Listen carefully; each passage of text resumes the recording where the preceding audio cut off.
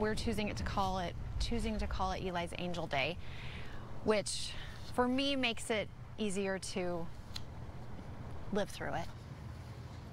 Happening right now, a memorial for a West Jordan boy killed by a drunk driver one year ago. Yeah, family and friends are gathering at the exact time and location where this tragedy occurred just last year at this time. Lincoln Graves live there right now for us. Uh, just getting underway right now. Lincoln, what's the latest there? Yeah, Mark and Jamie, a big crowd that actually showed up for this. This is the intersection where this happened, 90th South and 1510 West. Look at the crowd that has showed up for this. Uh, right now, some friends of Eli's, they were just playing some music in honor of him.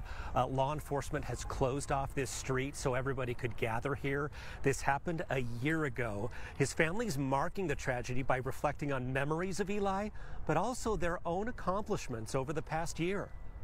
It's the kind of dreadful anniversary that Lisa Mitchell is trying to turn on its head. We're choosing it to call it choosing to call it Eli's Angel Day. The day when her 13-year-old son, Eli Mitchell, was hit and killed by a drunk driver. What I found is everybody grieves differently, and I my grieving is alone in the quiet moments. She says the grief has been tempered a bit by the advocacy work she and other family members have done to prevent a similar tragedy. All family members have embraced the process it is remarkable and it's cool to see all these people coming together to um, make a change. That change is addressing alcohol over service in Utah. Eli's family maintains the driver who killed him was overserved, and their state representative, Ken Ivory, helped pass a bill targeting overservice. They're taking just tremendous grief and, and turning it into policy that's going to make a difference so that there aren't more Eli Mitchell tragedies. According to Ivory, the bill clarifies what it means to be intoxicated and requires bars and restaurants to maintain records if an accident occurs. Representative, do you think that's enough?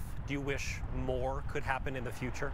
Um, yeah, more will happen in the future. He didn't specify what further action might be proposed. But Eli's mom also feels there's more to do. It's just sort of mind blowing to me that you can be intoxicated and you can walk out and start your car. And so I, there is definitely room for more improvement, but I'm so grateful to have at least made like a little dent. And again, here's a look at this memorial happening right now. Uh, Eli's mother told me earlier today that he loved music. And so, again, a bunch of his friends uh, playing a medley of some of his favorite soundtrack music right now. So, uh, a really emotional time right here. They're really trying to aim to keep this positive, not sad. That's what his mom told me today. Uh, this should go until about 6:45 tonight. Live in West Jordan, Lincoln Graves, KUTV 2 News.